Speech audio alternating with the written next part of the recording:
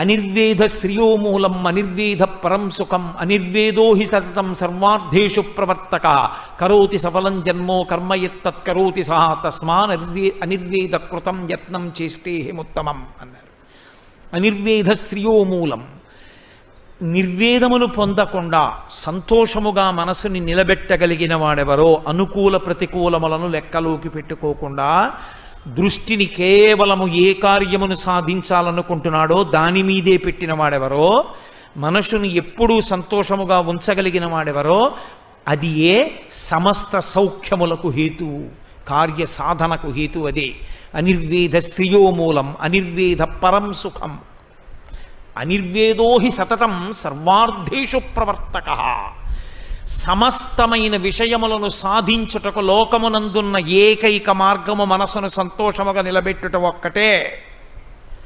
అలా నిలబెట్టలేనివాడు ఏ కారణమునకైనా అనుకూలము ప్రతికూలము అన్న రెండు విషయములను దృష్టిలో పెట్టుకుని నిలబడిపోయేవాడు కార్యసాధకుడు కాలేడు.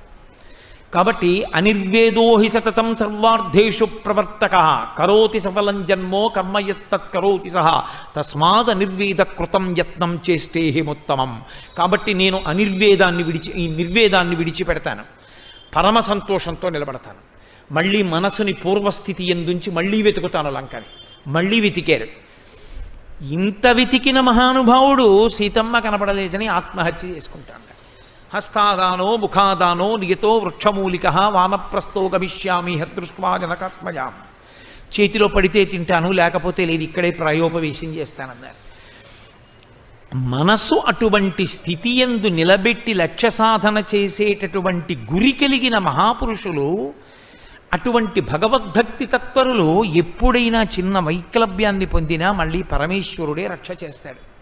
వెంటనే ఆయనకు ఒక ఆలోచన వచ్చింది అసలు ఆత్మహత్య చేసుకు చచ్చిపోతాననేటటువంటి ఆలోచనే దోషభూయిష్టం. కాబట్టి జీవం భద్రాణి పశ్యతి చచ్చిపోతే ఏమొచ్చింది? కాబట్టి నేను మరణించను. మరణించకుండా నేను బ్రతికే ఉంటాను. బ్రతికి ఉండి సంతోషంగా మళ్ళీ నేను పూర్వపూలికతో నిలబడితే జీవం భద్రాణి పశ్యతి మంగళములను చూడగలను. ఇప్పుడు మళ్ళీ పుంజుకున్నారు. మీకు తెలుసు తర్వాత సీతమ్మ తల్లి దర్శనం చెయ్యగలిగారు మహానుభావుడు ఆవిడ అనుగ్రహంతో చెయ్యగలిగారు. కాబట్టి మనిషి నిలబడడం అన్నది చాలా ప్రధానం. ఆ ఉత్సాహమును కాని మనసు కోల్పోయిందా సంతోషమును కాని కోల్పోయిందా లక్ష్యమునందు దృష్టి పెట్టగలిగిన స్థితి కాని పోయిందా ఇక వాడేదీ సాధించలేడు. సా అందుకే కిష్కింధకాండలో లక్ష్మణస్వామి రామచంద్రమూర్తితో ఒక మాట అంటారు రాముడు ఒకానొక నాడు విశేషమైన శోకానికి గురైపోయాడు. ఎంత గురైపోయాడంటే ఇక సీతమ్మ కనపడదు. లక్ష్మణ నా శరీరం పడిపోతుంది నువ్వు వెళ్ళిపోయి ఇంటికి అన్నాడు. అప్పుడు లక్ష్మణస్వామి ఒక మాట చెప్పారు. ఉత్సాహో బలవాన్నార్యా నాస్తుత్యాహత్పరం బలం. స్వోత్సాహస్యాస్తి లోకేస్మిన్ నకించిదపి దుర్లభం. అన్నయ్య ఉత్సాహమును ఉంచుకున్నవాడెవరో మనసును సంతోషముతో నిలబెట్టి లక్ష్యము వైపుకి నడిచిన వాడెవరో వాడు సాధించగలడు. మనసు ఎప్పుడు విచలితమైపోతుందంటే రెండు కారణముల చేత పడిపోతుంది. ఒకటి శోకము భయము. శోకము భయము అక్క చెల్లెళ్ళు రెండవది అసంతృప్తి. ఎక్కడ అసంతృప్తి ఉందో అక్కడ ఇక మనసు లక్ష్యము వేటికి వెళ్ళలేదు. అందుకే వ్యాప్తిం పొందక వగవక ప్రాప్తంబగు పదివేలను పదివేలనుచున్ తృప్తించెందని మనుదుడు సప్తద్వీపములనైన చక్కంబడునే అంటారు పోతన గారు భాగవతంలో. ఉన్నదానితో సంతోషంగా ఉండగలగడం. లక్ష్యమును సాధించుట ఎందు దృష్టి పెట్టి అనుకూల ప్రతికూలములను విడిచిపెట్టి లక్ష్య సాధన ఎందు నడవగలగడం. ఇది సంతోషం. అది లేనినాడు దుఃఖం. అది లేకపోవడమే దుఃఖము. కిం దుఃఖం? అసంతోషం. నాకు ఒక్కటి చెప్పండి. దుఃఖము అన్న మాటకు అర్థం అసంతోషం అంటే ఏమండి మరి కలిసి వచ్చినప్పుడు సంతోషంగా ఉండదా అని మీరు నన్ను అడగచ్చు. అప్పుడు అది సంతోషమే కదా. అది అప్పుడు ఎందుకు సంతోషం కాకుండా పోయింది? అంటే మీకు ఏది కలిసి వచ్చింది అది మీ దగ్గర ఉంది అని మీరు సంతోషపడిపోతున్నారో దానికి ఒక క్రీనీడ ఉంటుంది. నేనింత ప్రేమించే వస్తువు నేనింత ఇష్టపడే వస్తువు ఇది నా చెయ్యి జారిపోతుందేమోనన్న బెంగ మీకు ఎప్పుడూ ఉంటుంది. అభద్రత దాన్ని అనుసరించి ఉంటుంది. అది చెట్టు కొమ్మ సూర్యుడికి అడ్డొచ్చి తప్పుకున్నట్టు అది ఉందన్న ప్రీతి అది ఎక్కడ జారిపోతుందోనన్న బెంగ. రెండూ ఏకకాలమునందు ఉంటాయి ఎక్కడ ప్రీతి అప్రీతి అనుకూలత ప్రతికూలత ఈ రెండూ మనసు మీద ప్రభావం చూపిస్తూ ఉన్నాయో అంతకాలము వాడు లక్ష్యమును సాధించలేడు. అనుకూలము ప్రతికూలము రెండు లేవు. లక్ష్యమును సాధించుట ఒక్కటే. అంతే. అలా వెళ్ళగలిగిన వాడెవరో ఇక అనుకూల ప్రతికూలములకు లొంగకుండా ఉండగలిగిన వాడెవరో వాడే లక్ష్యమును సాధించగలడు. మీరు అందుకే చూడండి కేవలమును లక్ష్య కేవలము లక్ష్యమును సాధించుట ఎందు అనుకూలత ప్రతికూలత విడిచిపెట్టి వెళ్ళగలిగినటువంటి వాళ్ళని కొంతమందిని తయారు చేస్తుంటుంది ప్రభుత్వం. మీరు మొన్న మొన్న చదివి ఉంటారు. వాళ్ళు గాలి నీరు నిప్పు ఎండ ప్రాణాలు భయం ఏముండవు. లక్ష్య సాధన ఒక్కటే అంతే. అటువంటి దృష్టి కలిగినటువంటి వ్యక్తి లక్ష్యమును సాధించగలడు. శరీర బలం కాదు మనసు సంతోషముతో నిలబడింది. సంతోషం అంటే అనుకూల ప్రతికూలములకు నిలబడ అది చూడదు. అసలు ఇంకా యథార్థంగా మాట్లాడితే మీర మనమందరం ఏది అనుకూలం అనుకుంటున్నామో అది వాళ్ళు అనుకూలం అనుకోరు. మనం అందరం ఏది ప్రతికూలం అనుకుంటున్నామో అది వాళ్ళు ప్రతికూలం అనుకోరు. వాడు దాన్ని కూడా అనుకూలంగానే భావన చేస్తారు. అది సంతోషంతో నిలబెట్టడం అన్న మాటకు అర్థం. నాకు ఇది చెప్తున్నప్పుడు ఒక విషయం జ్ఞాపకానికి వస్తుంది. అబ్దుల్ కలాం గారు భారత రాష్ట్రపతిగా ఉన్నారు. ఉన్నప్పుడు వికలాంగులకు అంటే శరీరావయవములు సరిగా లేనటువంటి వాళ్ళకి అంతర్జాతీయ స్థాయిలో క్రీడలు నిర్వహించారు. అటువంటి వాళ్ళందరూ ఆటలు ఆడుతుంటే ఒక వెయ్యి మంది పిల్లల్ని రాష్ట్రపతి భవన్కి పిలిపించారు కలాం గారు. వెయ్యి మంది పిల్లలు వచ్చారు. వస్తే ఆయన లోపల ఉన్నారు రాష్ట్రపతి భవన్లో. వెయ్యి మంది పిల్లలు వచ్చారండి అందరూ వికలాంగులు. మీరు వాళ్ళను ఉద్దేశించి రెండు మంచి మాటలు చెప్పాలి అన్నారు. వెంటనే ఆయన ఆలోచించారు ఆ పిల్లలను ఉద్దేశించి నేను మాట్లాడడం అంటే ఏం మాట్లాడాలి? అయ్యో పాపం మీకు వికలాంగులు మీకు కాళ్ళు లేవు చేతులు లేవు అని కాదు కదా మాట్లాడవలసింది. వాళ్ళు ఉత్సాహపడేటట్టు మాట్లాడాలి. అంటే ఇప్పుడు వాళ్ళకి ఏ శరీర దౌర్బల్యం ఉన్నదో దానిని వారు మనోబలంతో అధిగమించగలిగినట్టు మాట్లాడగలగాలి. కదూ ఆయన వెంటనే ఒక పద్యాన్ని రచన చేశారు. నేను మీకు తెలుగులో దాన్ని చెప్తాను. ఆయన బయటికి వచ్చి కాగితం తీసుకుని ఆ పద్యం చదివారు పిల్లల్ని ఉద్దేశించి. అందులో ఆయన అన్నారు మీలో చాలామందికి శరీరావయవములు సరిగా లేవు. కానీ మనందరం పరమేశ్వరుని బిడ్డలం.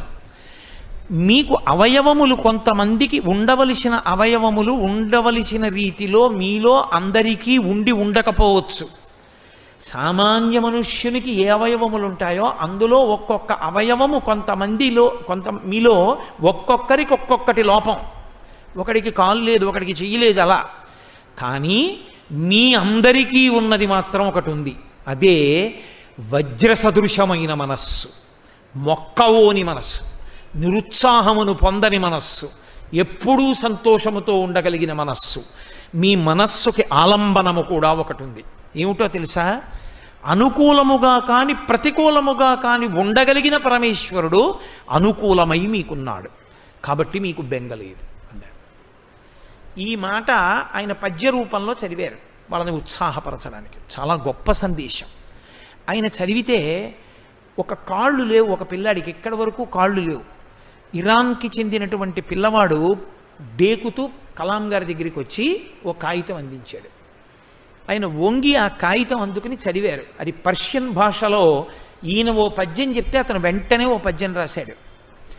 ఆయన తీసి చదివి ఆ పిల్లవాడి వంక చూశారు. ఆయన చెప్పుకున్నారు నా జీవితంలో నేను ఆ సందర్భాన్ని మర్చిపోలేను అని చెప్పారు.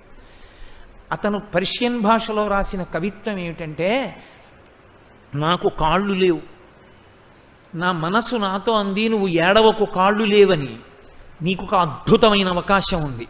ఎవరి ముందు మహారాజులే వచ్చినా మోకరిల్లవలసిన అవసరం నీకు లేదు. కాబట్టి నేను ఎంతో సంతోషిస్తున్నాను. ఆ స్థితి నాకొక్కడికే ఉంది అని రాశాడు. కలాం గారి కళ్ళ నీళ్ళు వచ్చాయి అబ్బా అందరూ కాళ్ళు లేవంటారు. కానీ అతను కాళ్ళు లేవనలేదు. ఒకరి ముందు మోకరిల్లవలసిన అవసరం లేదు నాకు. అందుకని పరమేశ్వరుడు పెట్టలేదన్నాడు. ఏమి భావన? ఆ సుసంపన్నమైన భావన చేత అతను తన శరీర వైక్లభ్యాన్ని అధిగమించాడు. ఒక్కొక్క మహాపురుషుడు ఎక్కడ తయారవుతాడంటే మనము ప్రతికూలము అనుకున్న దానిలో శాశ్వతమైనటువంటి వ్యవస్థని దిద్ది తయారవుతాడు. మహాత్ముడిగా గాంధీ ఎప్పుడు అవతరించారు? ఫస్ట్ క్లాస్ కంపార్ట్మెంట్ టికెట్ కొనుక్కుని ట్రైన్లో వెళ్ళిపోతున్నప్పుడు సౌత్ ఆఫ్రికాలో ఎవరో ఒక తెల్లటివాడు లోపలికెక్కి ఈ నల్లటివాడు కూర్చుంటే ఫస్ట్ క్లాస్లో నేను కూర్చోనన్నంత మాత్రం చేత తెల్లవాళ్ళు వచ్చి నాకు టికెట్ ఉంది నేను కూర్చుంటానని వాదిస్తున్నటువంటి గాంధీ గారిని ప్లాట్ఫామ్ మీదకి తోసేసి ఆయన యొక్క పెట్లన్నీ విసిరి పారేశారు విసిరి పారేస్తే ఆయన ఆ ప్లాట్ఫామ్ మీద ఆ పెట్లు తీసుకుని వేచి ఉండు గదిలోకి వెళ్ళిపోయారు వెయిటింగ్ రూమ్లోకి. వెళ్ళిపోతే ఆయనకి విపరీతమైన చలేసింది. ఆయన కోటు తీసి వేసుకోలేదు పెట్టులోంచి ఎందుకు వేసుకోలేదో తెలుసా? ఇవాళ నాకు చలేస్తే నేను పెట్టి తీసి కోటు వేసుకుంటాను. కానీ కోటు వేసుకుంటున్నప్పుడు కూడా నన్ను అవమానకరంగా మాట్లాడే వాళ్ళు ఉండొచ్చు ఇప్పుడు. శాశ్వతంగా ఈ సమస్యకు ఒక పరిష్కారము ల- స- లభించాలి. అందరూ ఏది నాకు అవమానము జరిగినది అనుకుంటున్నారో అందులోంచే ఒక కొత్త శకం ప్రారంభం కావాలన్నారు. అంతే. ఆయన సత్యాగ్రహ సిద్ధాంతం అహింసా పోరాటం అక్కడ ప్రారంభమయ్యాయి. ఇప్పటికీ దక్షిణాఫ్రికాలో ఆ రైల్వే స్టేషన్లో ఒక బోర్డు ఉంటుందిట. ఇక్కడే మహాత్మా గాంధీ ఆఫ్ ఇండియా వెళ్ళిపోతున్నప్పుడు ఆయన లగేజ్ని ఫస్ట్ క్లాస్ టికెట్ ఉన్నా విసిరేశారు. అని వెయిటింగ్ రూమ్ వైపు బాణం గుర్తు పెట్టి ఇక్కడే గాంధీజీ కూర్చుని ఆలోచించి వర్ణ వివక్షకి వ్యతిరేకంగా పోరాటం ప్రారంభించారు. ఇక్కడ నుంచే వర్ణ వివక్షకి వ్యతిరేక పోరాటం ప్రారంభమై అందరూ ఒక్కటే అన్న సిద్ధాంతం ప్రారంభమై భారతదేశపు దాస్య శృంఖలాలు తెగిపోయే అహింసాత్మకమైన సహాయ నిరాకరణోద్యమంతో కూడుకున్నటువంటి భారత స్వాతంత్ర సంగ్రామం ప్రారంభం కావడానికి ఇక్కడే బీజములు పడ్డాయని బోర్డు ఉంటుంది అంటే మనం అనుకు అనుకూలము కాదు అవమానింపబడ్డాడన్న చోట ఒక మహాత్ముడు ఆవిర్భవించాడు. ఒక కాళ్ళు లేవు అని మనం అనుకున్నటువంటి చోట ఒక మహాత్ముడు ఒక పిల్లవాడి యొక్క మనసులో అటువంటి ఆలోచన ఉద్భవించింది. వాడికి కాళ్ళు లేకపోవడం కాదు. కాళ్ళు ఉండి పిరికి మనసున్నవాడి కన్నా కాళ్ళు లేకపోయినా కొన్ని రెట్ల బలమైన మనసు ఉంది. వాడు మహాత్ముడు కాగలడు. ఎవడి మనసా సంతోషముతో ప్రహృష్టముగా నిలబడగలదో వాడు మాత్రమే మహాత్ముడవుతాడు తప్ప అందరూ మహాత్ములు కాలేరు. కాబట్టి దుఃఖమనగా ఏమి? అంటే అనుకూలము ప్రతికూలము అన్నదానికి లొంగిపోవుట. లక్ష్యమునందు మనసు నిలబెట్టినటువంటి వాడికి అనుకూలము ప్రతికూలము రెండు మాటలు లేవు. మోక్షగుండం విశ్వేశ్వరయ్య గారి గురించి తెలియని వాళ్ళు ఉండరు. మహానుభావుడు. ఆ భారతదేశంలో సాంకేతిక రంగమునందు ఒక మహర్షి సదృశ్యుడు అటువంటి మోక్షగుండం విశ్వేశ్వరయ్య గారి చరిత్ర మీరు ఎప్పుడన్నా చదివితే తెల్లబోతారు. పదమూడవ ఏట తండ్రి చనిపోయారు. ఆయనకి ఈ సాంకేతిక విద్య ఇంజనీరింగ్ చదువుకోవాలి అని కోరిక. మైసూరులో మేనమామ గారి ఇంటికి వెళ్ళారు. చదువుకోవడానికి స్కూల్లో చదువుకోవడానికి కూడా డబ్బులు లేవు. చదువుకోవాలి. అంతే ఆయన లక్ష్యం. ఆ లక్ష్యం కోసం మోక్షగుండం విశ్వేశ్వరయ్య గారు పడినటువంటి శ్రమ చదివితే అసలు ఇలా ఎలా చేశారనిపిస్తుంది? ప్రతిరోజు తన ఇంటి నుంచి పది మైళ్ళ దూరం నడిచి ఒక మంత్రి గారి ఇంటికి వెళ్ళి వాళ్ళ పిల్లలకి ట్యూషన్ చెప్పేవారు. మళ్ళీ పది మైళ్ళు నడిచి ఇంటికి వచ్చేవారు ఇరవై మైళ్ళు అంటే దగ్గర దగ్గరగా ఇరవై ఐదు కిలోమీటర్ల కన్నా ఎక్కువ. అంటే రోజుకి ఇరవై ఐదు కిలోమీటర్లు నడిచి ఒక పిల్లవాడు ఇంకా హై స్కూల్ చదువు కూడా చదువుకోని పిల్లవాడు ఇరవై ఐదు కిలోమీటర్లు ప్రతిరోజు నడిచి మంత్రి గారి పిల్లలకి పాఠం చెప్పి డబ్బు సంపాదించి ఆ డబ్బుతో స్కూల్లో చదువుకుని కష్టపడి తెచ్చుకున్నటువంటి స్కాలర్షిప్తో పూణే ఇంజనీరింగ్ కాలేజ్లో చదువుకుని ప్రపంచ ప్రఖ్యాతమైనటువంటి గోల్డ్ మెడల్ సంపాదించారు. మోక్షగుండం విశ్వేశ్వరయ్య గారు సంపాదించారు అనకండి. ఆయన సంపాదించడంలో లక్ష్యం మీద నిలబడినటువంటి ఆయన దృష్టి అనుకూలము ప్రతికూలము అన్న రెండిటిని విడిచిపెట్టి లక్ష్యమును సాధించుట ఎందు మనసు ఎప్పుడూ అదే ప్రహృష్టతతో నిలబడిపోయిందంతే. అదే సంతోషం నేను ఆ లక్ష్యం వైపుకు అడుగులు వేస్తున్నా. వేస్తున్న ప్రతి అడుగు రోజు ఇరవై మైళ్ళు నడిచొచ్చినా నేను చదువుకోవడానికి డబ్బు వస్తాను ఇప్పుడు నేను చదువుకోగలను. ఇరవై మైళ్ళు నడిచిన పిల్లవాడికి తండ్రి లేడు తల్లి దగ్గర లేదు మేనమామ ఇల్లు పేదరికం. తినడానికి సరి అయిన తిండి లేదు ఎంత కష్టపడ్డాడో. నాకు పేరు చెప్పడం ఇష్టం లేదు. ఇప్పటికే హైదరాబాద్లో ఉన్నారు. మా గోపాలకృష్ణ గారికి తెలుసు బాగా. ఆయన ఇంజనీరింగ్ చదువుకోవాలని కోరిక. ఓసారి ఇంజనీరింగ్ సీట్ వస్తే డబ్బు లేక వదిలేశాడు. రెండవసారి ఇంజనీరింగ్ సీట్ వస్తే అన్నయ్య వదినా పడుకుంటే బయట చిన్న వరండా ఉండేది. నాకు మీరు అన్నం పెట్టినా పెట్టకపోయినా వరండాలో పడుకోవడానికి అవకాశం ఇవ్వండి ఇంజనీరింగ్ చదువుకుంటానని అడిగాడు. ఉన్నదే ముగ్గురం తిందానరా అన్నాడు ఆ మహానుభావుడు. వరండాలో పడుకునేవారు. ఒకప్పుడు ఆయన ఇంజనీరింగ్ ఫస్ట్ ఇయర్ చదువుకుంటుంటే స్కూల్లో సర్క్యులర్ వచ్చింది. ఆయనకి సంతోషం నేను ఇంజనీరింగ్ చదువుకుంటున్నానని. అంత కష్టపడి చదువుకున్నాడు. రేపు ల్యాబొరేటరీ ఉంది. అందరూ బూట్లు వేసుకు రావాలి ఫలానా రకం షూ వేసుకోవాలి అని. ఎక్కడ కొనుక్కుంటాడు బూట్లు? ప్రిన్సిపాల్ గారి రూమ్ దగ్గరికి వెళ్ళి బయట నించున్నాడు. ఆరున్నర అయిపోయింది ఏడు అయిపోయింది ఏడున్నర అయిపోయింది. వరంగల్ ఇంజనీరింగ్ కాలేజీలో చదువుకున్నాడు ఆయన. ఏడున్నర అయిపోయిన తర్వాత లోపల అందరితో మాట్లాడి ప్రిన్సిపాల్ గారు బయటికి వచ్చారు బయటకు వచ్చి పిల్లాడిని చూసి ఓయ్ అని పేరు ఉచ్చరించి ఆ పిల్లవాడిని అన్నారు ఏమి ఇక్కడి నుంచి ఉన్నావు? రాత్రి ఏడున్నర అయినా? అతను అయ్యా మీరు షూస్ కొనుక్కోమన్నారు రేపటి నుంచి. అని వలవల వలవల ఏడిచేశాడు. ఆయనకి అర్థమైంది నీకు డబ్బు లేదా? అని అడిగారు. లేదు అన్నయ్య దగ్గర నేను వరండాలో పడుకుని చదువుకుంటున్నాను అన్నారు. రా కారిక్కు. అని షూ కొనిచ్చి పిల్లవాడు హాస్టల్లో అన్నం తినడానికి ఏర్పాటు చేశారు. అదే పిల్లవాడు తరువాతి కాలంలో ఇంజనీరింగ్లో పట్టభద్రుడై ఎనలేని ఖ్యాతి సంపాదించి అదే వరంగల్ ఇంజనీరింగ్ కాలేజీకి చాలా గొప్ప స్థాయిని మార్చి ఉన్నత స్థాయి ఇవ్వవలసి వచ్చినప్పుడు కేంద్ర ప్రభుత్వం తరపున కాలేజీలో ఉన్నటువంటి పరికరాల్ని పరిశీలించడానికి వెళ్ళినటువంటి కమిటీలో మెంబర్గా వెళ్ళాడు ఆయన. అదే కాలేజీ ముందు కారు దిగితే పూలదండ వేసి ప్రిన్సిపాల్ గారు లోపలికి తీసుకెళ్తున్నప్పుడు గురువుగారు నా కన్నుల వెంట అశ్రుధారలు కారాయండి అని నా దగ్గర కూర్చుని ఒకనాడు చెప్పాడు.